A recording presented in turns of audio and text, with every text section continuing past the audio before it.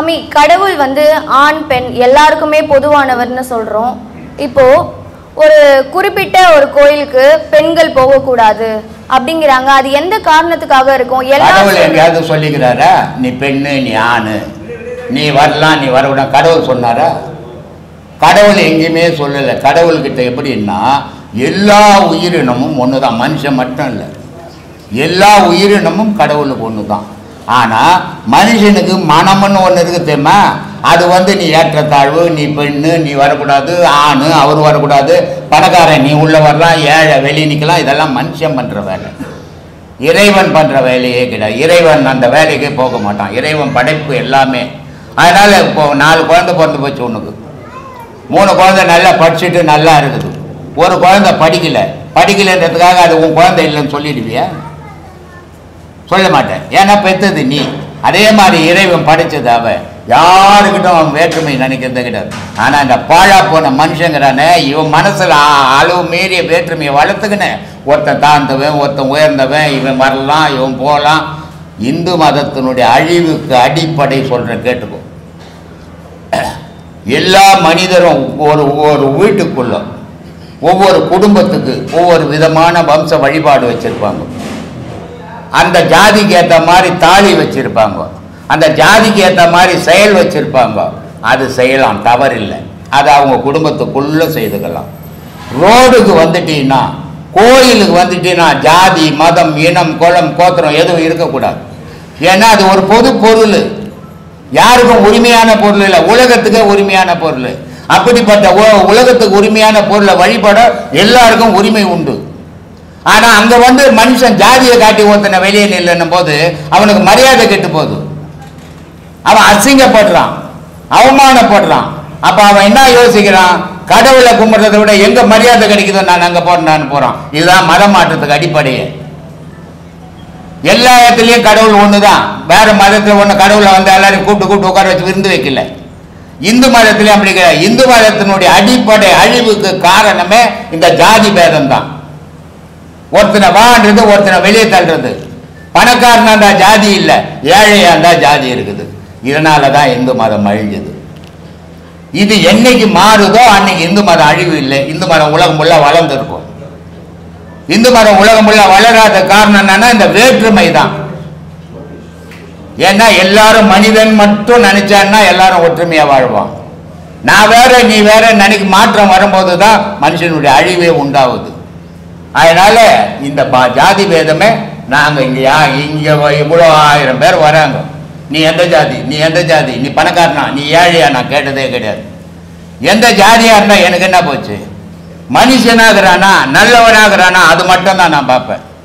அதனால் பெண்களை கோயிலுக்கு வாண்டுறது சாமியை போய் எவனா தொட முடியுமா? சாமியை தொட்டவும் உண்டா இந்த உலகத்தில்? ஆனால் ஒரு பொம்பளை போய் சாமியை தொட்டுட்டா தீட்டு பட்டு போச்சான் சொல்றவன் யாரு? அவங்க அம்மா வயசுல பத்து மாசம் தீட்டு தான் அவங்க அம்மாவுக்கு பத்து மாசம் தீட்டு போச்சுன்னா ஒரு மனுஷ உருவமே இல்லை. அப்போ இப்ப நான் பேசினுக்கிறேன் இவ்வளவு பேசுங்கிறேன்னா எங்க அம்மா வயிற்றுல பத்து மாசம் தீட்டு நின்றதால் தான் நான் பேசுகிறேன் நான் தான் முழு தீட்டு. உங்க அம்மா வயிற்றுல தீட்டு போயிருந்தா நீ பிறந்திருக்க மாட்ட. நீ தான் முழு தீட்ட. அப்புறம் தொட்டா எங்க தீட்டு இருக்குது? நான் மந்திரம் சொன்னா எங்க தீட்டு இருக்குது? அதனால அந்த தீட்டு இப்போ சாமியை தொட்டுச்சு பொம்பளை அது தீட்டு வந்துச்சு அதெல்லாம் ஒன்றுமே கிடையாது. ஏமாத்தின்னுக்கிறான் மனுஷன் அர்த்தம். அந்த அம்மா கேட்டாங்க. இந்து மதம் ஒரு புனிதமான மதம். இந்து மதம் ஒரு அறிவாளித்தனமான மதம். இந்து மதம் ஒரு தெய்வத்தை அடையத்துக்கு வழிகாட்டுற மதம்.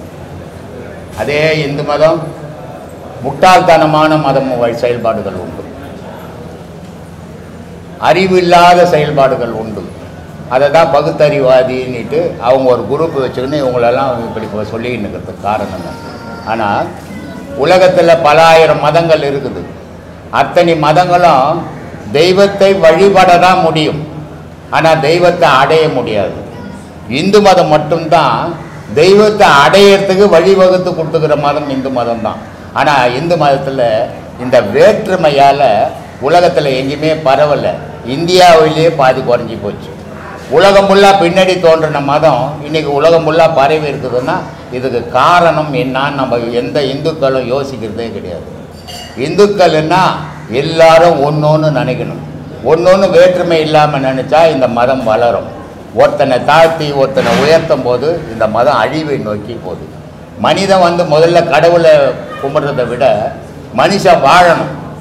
அவனுக்கு ரெண்டு விஷயம் தேவைப்படுது மனுஷனுக்கு. ஒன்று பசிக்கு ஆகாரம் தேவைப்படுது.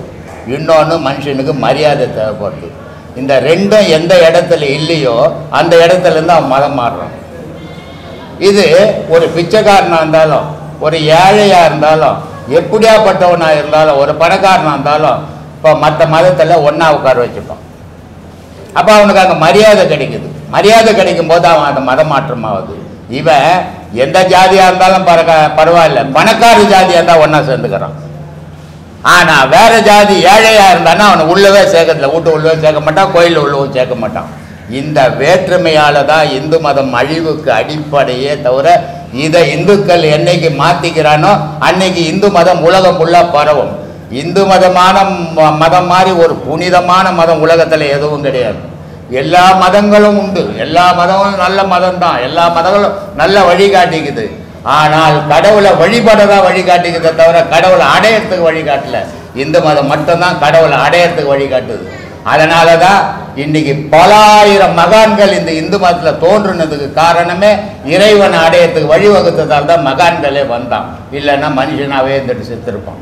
அதனால் இந்து மதம் அவ்வளோ சாதாரணமான மதம் இல்லை புனிதமான மதம். ஆனால் அதன் நிர்வாகம் வந்து தவறாக போயிடுச்சு. போனதால் இந்து மதம் அழிவுக்கு போய் நிற்குது சொல்லுமா? அப்படி தானே சாமி? அப்படியே எப்படி சாமி? ஆமாம் ஆமான்னு சொல்லக்கூடாது. சுவாமிஜி மனுஷனுக்கு தனித்தன்மை இருக்குன்னு சொல்லிட்டீங்க. இப்போ ஆடு செடிகளை சாப்பிடுது. சரி. செடிகள் ஆடு சாப்பிடாம விட்டா முழுதும் செடி ஆயிடும் சரி. அந்த ஆடு மாடு இது போன்றதை வந்து மனுஷங்க சாப்பிடுறாங்க. மானை சிங்கம் அதெல்லாம் வேட்டையாடி சாப்பிடுது. இப்போ மனிதனோட உடம்பு காரணி ஓரசா படைக்கப்பட்டிருக்கும் பொழுது அவன் மாமிசம் இதை சாப்பிட்டா என்ன தப்பு இருக்கு? இது வந்து ஒரு மத சாயம் பூசப்படுதா? ஏன்னா ஆடு புல்லு சாப்பிடுது ஆடை மனிதன் சாப்பிடுறான். இது ஒரு மனித தொடர் மாதிரி தானே வருது? இதுக்கும் மதத்துக்கும் இறைவனுக்கும் சாப்பிடணும்னு இருக்கா? உனக்குன்னு நெல் இருக்குது கேவு இருக்குது மக்காசோளம் இருக்குது. சோளம் இருக்குது கோதுமை இருக்குது இவ்வளோ உணவுகள் இருக்குது. இது எதுவுமே ஆடுகிட்ட வையன் சிங்கத்துக்கிட்ட வையன். சாப்பிடுமா? சாப்பிடுமாம்மா? ஒரு உயிர் தானே பசி தானே அதுக்கு? நம்மளும் எல்லாத்துமே சாப்பிடுறது இல்ல எல்லாத்தையும் தான் சாப்பிட்டு நிற்கிறோம் எதை சாப்பிடல? தரையில் முறைக்கிற கீரையை ஒரு கீரையும் விடுறது இல்ல? இல்லை அந்த கீரையை சாப்பிட்ட ஆடு மாடியும் விடுறது இல்ல அப்புறம் உனக்கு என்ன தனித்தன்மை இருக்குது? தனித்தன்மை உள்ளவனுக்கு தனித்தன்மை இருக்குது. ஆனால் மிருக மாதிரியே வாழறவனுக்கு தனித்தன்மையே கிடையாது.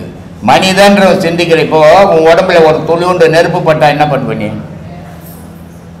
சுடும் கத்துவேன். கத்துவே இல்ல? அப்போ இவ்வளோண்டு நெருப்பு பட்டாவே கத்தறியே துடிக்கிற இவ்வளோலாம் பண்றியே ஒரு ஜீவனை துடிக்க துடிக்க அறக்குறியே உனக்கு இறக்கம் இல்லையா? சொல்லு. அது துடிக்கல கையும் காலம் அடிச்சிக்கல. ஆனா உன் வாய் ருசிக்காக அதை துடிக்க துடிக்க வெட்டுற. ஏன்? சாப்பிடணும்னு இருந்தா உங்க வீட்டுல ஒரு குழந்தை கையை வெட்டிக்க பார்க்கலாம். வெட்டி ஆக்கிட்டு சாப்பிடு. முடியுமா? ஏன்? பாசம் தடுக்குது. இனம் தடுக்குது. அது இனத்தை கடந்து இருக்குது அது மேல பாசம் இல்லை. அதனால அது அது என்ன சொல்ல போகுது? கேஸா போட போகுது போய். உன் குழந்தை கையை வெட்டினா உன்னை உள்ள தள்ளிடுவாங்க. அதை வெட்டினா யாரும் கேட்கறது இல்லை அதனால அதை வெட்டி சாப்பிட்டுன்னுக்குறோம். அதை எதை சாப்பிட்றியோ அதுதான் உன் உடம்புல ரத்தமாக போகுது. அந்த ரத்தம் தான் உன் மொ- புத்தி ஆக போகுது. அந்த புத்திக்கு ஏற்ற மாதிரி தான் செயலாக போகுது. அதனால சாந்தமான பொருளை சாப்பிடணும். மனிதனுக்குன்னு ஒரு பொருள் இருக்குது. மிருகத்துக்குன்னு ஒரு பொருள் இருக்குது. அதை அதை தான் அது இது சாப்பிடணும். எல்லாத்தையும் எல்லாம் நம்மள போய் ரெண்டு மாடு வந்து கட்சி துண்டுக்கணும் இந்த கம்முன்னு இருக்குமா? சொல்லுமா? ஏன்? துண்டு போட்டுமே. அதுவும் சாப்பிட ஆசைப்பட்டு சாப்பிட்டோம். முடியல. நமக்கு சாதகமா இருக்கிறத மட்டும் எடுத்துக்க கூடாது. பொதுவா யோசிக்க தெரியணும். இப்போ செடி கொடிகளுக்கு உயிர் இல்லையா? எல்லாத்துக்கும் உயிர் இருக்குது. உயிர் இல்லாத ஒரு பொருள் உலகத்துல கிடையாது இருக்காது. ஆனால் உயிர் இந்த ஆடு வீட்டுல நாய் வளர்க்குறியா. நீ போனா வாலாட்டுதா? வீட்டுல செடி வச்சுக்கிறியா? அது போன வாழாட்டுதா ஏன் அதுவும் தானே ஆட்டணும். உயிர் இருக்குதானா? ஆட்டாது. உயிர் இருக்குது உறவு இல்லை. மற்ற பொருளுக்கு உறவு இருக்குது உயிரும் இருக்குது. நம்மளே தண்ணி ஊத்தலனா அந்த செடி எதுவுமே வளராது போடும். நீயே கல்யாணம் பண்ணிக்கலாம் ஒரு குழந்தையே வராத. கல்யாணம் பண்ணாதான் ஒரு குழந்தை வரும்.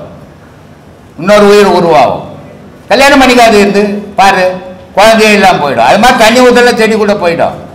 கா வீட்டில் வச்சுக்கிற செடிக்கு தண்ணி ஊற்ற காட்டில் வச்சுக்கிற தடிக்கு இறைவன் தண்ணி ஊற்றினுக்கிறான் இறைவன் தண்ணி இங்கே ஊற்றலைன்னா நீ இருக்க மாட்டேன் நானும் இருக்க மாட்டேன்.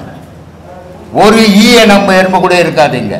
அப்போ நம்ம வாழறதுக்கு என்னென்ன தேவையோ அத்தனை இறைவன் கொடுக்குறான். ஆனால் அதை மீறி நம்மளோட ஆசையால் கண்டதை அழிச்சிக்கும் தெரியிடும்